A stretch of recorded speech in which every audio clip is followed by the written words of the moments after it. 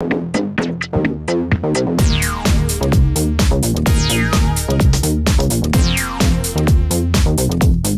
そうで始まりました。もちろんねさあ受けてきました。 TOEIC 公開テストですね。8月22日。午前なので274回の試験を受けてきました。まあ感想を言うんですけどもフォーム同じとは限りませんので複数フォームありますので同じ問題だったとは限りません。まあ共通する問題はあるんですけど全てが同じではないのでそこだけ注意してください、まあ、ぶっちゃけ率直な感想として言うと今回は簡単だったんじゃない？いやだいぶ今までの中で楽だった。ったと思う。時間かかんなかったかなと思いますね。少なくとも今年なんで今年一番優しかったかなと思いますね。ただまあいろんなね事件があったんで 大変だったんですけどまあ良かったなと思いますね。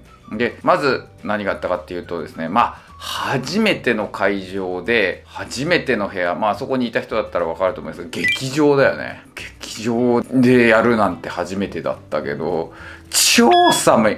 めっちゃ寒い。今までのまあ寒いとこ何個も経験してきましたけど多分ランキング1位でしょうね。あんなに寒いのは初めて。言いましたよ。もう寒いですって。はい、で温度を上げてくれっていうのは言って通りましたんでよかったですね。女性の方たちも寒くて寒くて大変でしたよね。上着持ってる人は上着こうすぐ着てたけど上着持ってない人たちマジで大変だったと思いますね。でそんな中でまあ試験官はやったことない人だったんでしょうね。まあいろいろありましたよ問題。こんなやっぱね100回以上受けてても初めての事件って起こるんだなと思いました。今回初めて起こったのはまあ右側の隣の人でした。したね。まあ2人掛け1人掛けみたいな感じ。ジグザグに今回はなってたんですが、まあ、当然僕の運であれば2人掛けのとこになるんですけど絶対ね。あんなに休みが多かったのに。やっぱり2人掛けでしたけど僕のところはね。後ろ休んでるのにさ。前と右横の人が在留カード持ってたんで外国人の人だったんですよ。でまあ TOEIC 知らない人の可能性が結構高かったりしてミスだったりなんだりがよく起こるんですよ。でやっぱ名前の記入漏れ。起きますね。特に両面書かなきゃいけないけど片面書いてないっていうのはすごく怒ってました。今回もいろんな人で。まあそれ言った方がいいんですよ。アナウンスだけじゃなくてさ音声の。絶対言った方がいいんですよ試験官が。やっぱり書き忘れてたんですけどすごかった。こっちの方は。マジで。で何がすごかったかっていうとですねまず名前をペンで書いてたんですよ。鉛筆じゃなくて。鉛筆で書いてくださいなのに。でそういう時ってどうなるのか初めて知りました。鉛筆じゃなくてペンで書いちゃってるわけじゃないですか。それだってペン消せないから。上から鉛筆で書いてくださいって言ってましたね。そうやってやるんだと思って。ペンで書いたものの上。鉛筆でやるんだと思って。マークシートペンで塗っちゃってたらどうすんだろうと思いましたけど。ね中国かなんかの方だったと思いますけどそうペンで書くこと多いからねやっぱりね。ってやってて。でさらにこの人はですねまたすごくてですねマークし忘れてるんですよ名前を。だから試験終わった後に回収してる時にマークしてました。で当然ダメなわけですね。そんなことやっちゃ試験終わった後なのにマークしてるって。だ途中で止められてましたけどいやマーク今しないでくださいみたいな感じでね。なかなかすごかったです。結構適当に見てたからその試験官たち。電子機器電源を切っておしまいくださいって言って。その後にずっと携帯いじってた人いましたからね。でそれに全然気づかない。すごいなって思った。電源切ってくださいって言って切ってるはずなのにずっと携帯いじってるんですよ。もうおかしいじゃんこの矛盾って思いながらですね。あと試験中トイレ行ったんで、まあ、やっぱもう激寒でね大変だったんでね。でその時にトイレ行って戻ってくる時に検温があるっていうのを初めて知った。へえって思って検温されんだ戻ってくる時にって思ってね。そう待ち構えてたよトイレの外でこの検温の人で名前を言ってくださいっていうの。これはあるんですよ。前に街宣車が来て TOEIC 中断したことがあるんですね。リスニングが中断だったんだけどその中断の時にトイレ行ったことあってその時も確かに言われたんですよね。名前教えてくださいっつって。であこれがルールなんだってことを初めて知りましたね。トイレ行ったら名前書かなきゃいけないみたいなのはただ検温は初めてでしたね。トイレ行ったら検温まあ面白かったですね。初めての人だったんだろうからなんかいろんなことが他にもありましたよね。だとにかく遅かったですね。回収が。外出れるのめちゃめちゃ時間かかったって。なんでなんだと思ったらですね回答用紙と受験番号カードを両方まとめて回収してたんですよ。そんなんいらないじゃん。回答用紙だけ回収しろ。なんで後からバババババって適当に回収できるどうでもいい受験番号カードを回収してった。そのせいですごい時間かかっちゃってましたね。で、数えるのすごい適当だった。で、その後責任者がちゃんと数えてましたけど、こんな数え方するんだっていう初めて見ましたけど、まあ多分、ね、素人だったんでしょうね。まあトイレ行きたいですって言った時も普通はこうこうこうしてくださいみたいになるはずなのに、ちょっと待ってくださいって分かってなかったんで、はい、まあそんな事件がありました。あ、そういえば前の人は問題配られてなかったしね。問題も配り忘れちゃってて、途中で手挙げて別の試験官が配ってましたね。はい、それではそれぞれのですね、難易度について話していきたいと思います。まずパート1、優しめだったと思います。うん、こんな表現聞いたことねえっていうのはあったと思うけども、まあ簡単ですね。推測できるし、あとは他の選択肢が絶対違うので楽勝だったと思います。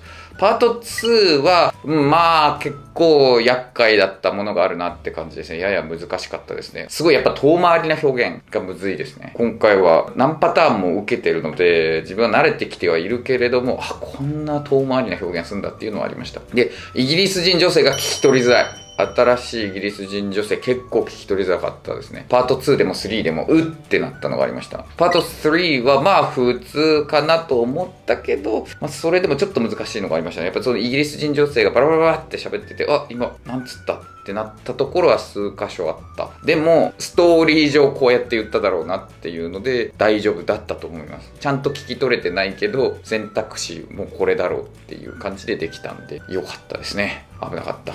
そういえば、パート2で1個、あれこの引っ掛けマジって思ったのが、なんかさ、パソコンが出てきた時に、引っ掛けの選択肢で Windows ってって言ってたよね。窓に近いだかなんだかで。あれこれもしかして Windows との引っ掛けなのかなと思って、商品名とごっちゃになるような引っ掛け出すかなと、ちょっと思った。で、パート4。まあ、パート4もやっぱちょっと聞きづらいものはあったけど、まあ、普通かなと。ここも、ああ、しまった聞き逃したっていうのがあったんですけど、いけたと思いますね。ストーリー上これだろっていうので、いけました。ただね、1個糸問題が難しかったですね。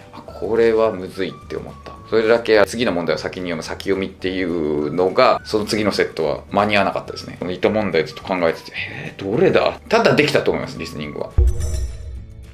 続いてリーディングですね。やはりリーディングが簡単でした、今回は。パート5が優しいです。今回難しい問題がゼロです。難問ゼロだったんで、あ、これは珍しいなと思いました。もちろん表現知らなかったら解けないっていうのはあるんですけど、やっぱり今まではすごい、わあ、こんなレベルの高いのが聞いてくるっていうのがあったんですけど、なかったですね、今回は。まあ、どれも出題されたことがあるもの、過去に。ただ、自分がよくマークミスをするんだなっていうのは分かった。絶対全部できてると思って、ってても間違ってたりすることってあるわけなんですけど、2箇所あったんで、マークミスが。あ、やっぱマークミスって知ってるんだなっていうのが分かりましたね。特に今回なんか夏季講習で3つのクラスで教えてる表現なのに違うものにマークしてたんで、えーって思ったね。びっくりした。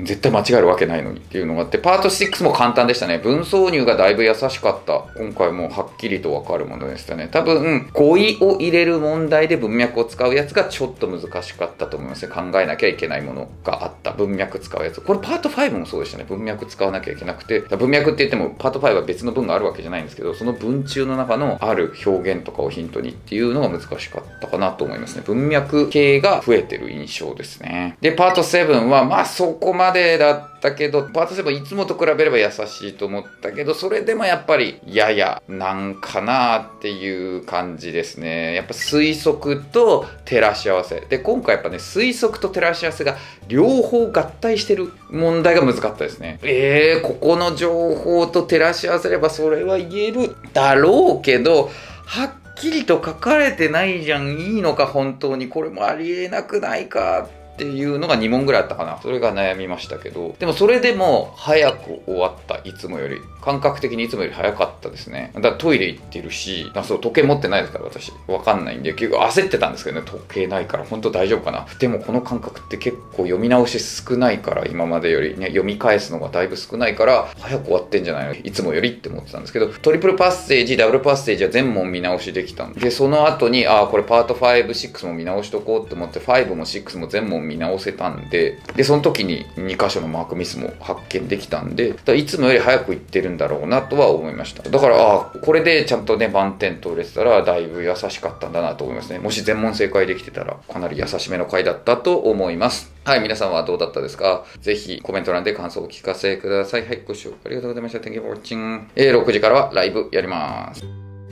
今、ベーシスの公式 LINE に登録してもらうと、登録してくれた方全員に偏差値30から偏差値60まで上がる勉強法のノウハウ集をプレゼントしてます。で、TOEIC 700、800点ぐらいまでも十分対応しているノウハウ集になってます。で、そこにね、個別のメッセージを送ってもらうと、僕が直接アドバイスしていきます。普段の動画ではですね、かなり毒舌かもしれないんですけど、LINE では優しく丁寧に対応します。で特に偏差値もう30代とか40代で、英語の成績が俺全然伸びないんだよ、私全然伸びないんだよっていう人とか、か、TOEIC で、もうほんと400点、500点さえも取れない。でも700点、800点取りたいっていう人とか、英検、もう全然3級も取れないとか、準2級取れないとか、まあ、そういうところでかなり悩んでる人ね、ぜひ相談ください。登録は QR コード、もしくは概要欄の ID、これで検索してもらうと出てきますので、それで登録よろしくお願いします。